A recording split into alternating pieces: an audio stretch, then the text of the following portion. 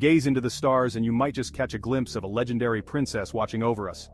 Meet Andromeda, not just a constellation in the northern sky but a storied figure of Greek mythology. Hovering at about 1 hour right ascension and 40 degrees north declination, Andromeda is home to Alpheratz, its brightest star with a magnitude of 2.1. This star was once thought to be the navel of Pegasus, the celestial horse. But the true celebrity in Andromeda's celestial neighborhood, the Andromeda Galaxy.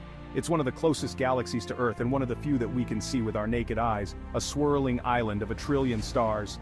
Now, back to mythology. Andromeda, the beautiful daughter of an Ethiopian king, was bound to a rock as a sacrifice to calm a rampaging sea monster. Just in time, Perseus, a hero riding the winged horse Pegasus, saw and rescued her. The two would marry, but not before dealing with a jealous suitor who was turned to stone with Medusa's head.